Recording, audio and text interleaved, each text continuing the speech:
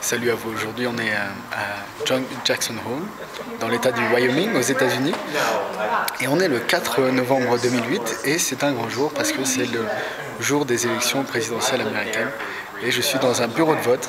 Donc voilà, je vais vous montrer un peu comment ça se passe. Voilà, les gens s'enregistrent pour voter. Vous avez le bureau de vote là-bas. Gens qui s'occupent euh, un peu de contrôler tout ceci. Et voilà. C'est un grand jour. Ici, les, bureaux de vote ne sont pas très très très occupés. Et je vais vous montrer où on est. Aujourd'hui, il a neigé. On est à peu près à 2000 mètres d'altitude dans les montagnes. Et on peut voir encore un peu la neige là-haut.